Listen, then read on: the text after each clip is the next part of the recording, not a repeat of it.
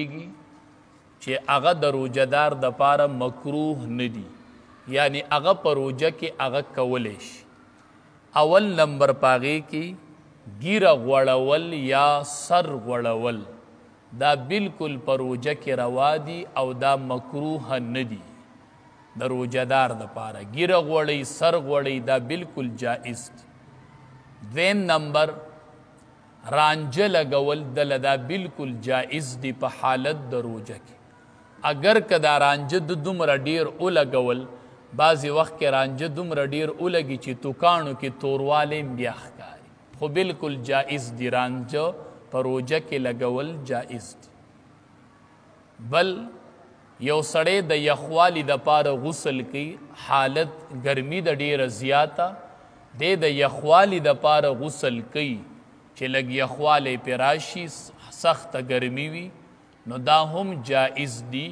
دې کې سکراحت نشته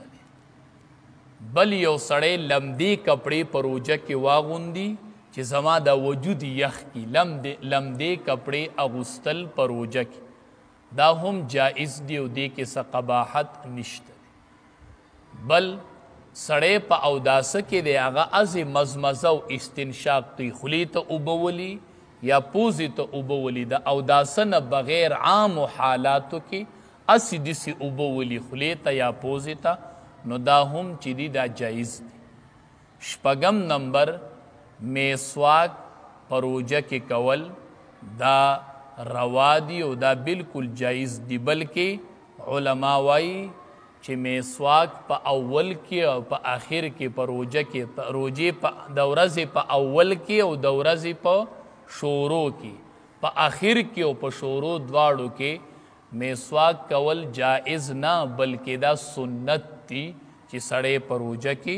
مسواک کوي نو دا بلکل ټیک دي او دا روا دي اوس یو څو سیزونه داسي دي چي هغه د روژه دار د پاره مکروه دي مکروه مطلب دا چي روژه خو یې ماتیږي په نه خو ښه نه دي دا کول د لره پکار نه دي لکه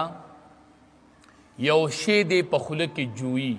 نو د دې څه ضرورت نشته نو دا دی ولی جویی دا مکروه دی یا یو سیس سکی بغیر د حاجت نه څه حاجت ورته نشته او دی په جبه باندې سکی نو دا مکروه دی او علماء لیکلی دی یو زنانه د هغې سالن پوخ کو دی ته پته ده چې خاون مې زورور دی بیا به راسره جګړه کوي نو دې ته د سالن د سکلو اجازت شته چې دی په جبه باندې کی خو چې حاجت نه یو سړی اسی سیس سکی نو دا پروژه کې چې دی دا مکروه دی بل دویم نمبر په خوله کې سړی دا توکانی جمکی ډیر شي او بیا تیری نو دا مکروه دی اسی کو توکانی خوله کې تیریږي د اس خبره نه ده خو بعضی وخت کی سړی تږی نو دی دا توکاڼی جمع کوي جمع کوي بیا یې په یو ځای باندی تیروي نو په دی اګر چی روژه ماتیږي نه خو دا په روژه کی مکروه دي دا ښه نه دي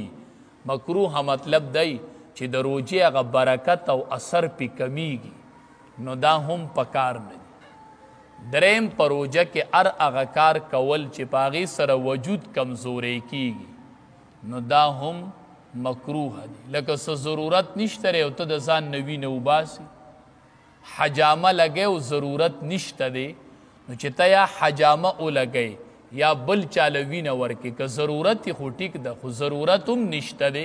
ته وینه د وجود نه وباسي نو په دې سره وجود کمزوري کیږي نو ار هغه شی چې هغه د وجود د کمزورۍ ذریعہ ګرځي نو هغه هم په روژه کې کول مکروه دي نو دا درې سیزونه اگر چې روژه پې ماتیږي نه خو په روژه کې کول مکروه دي رب العالمین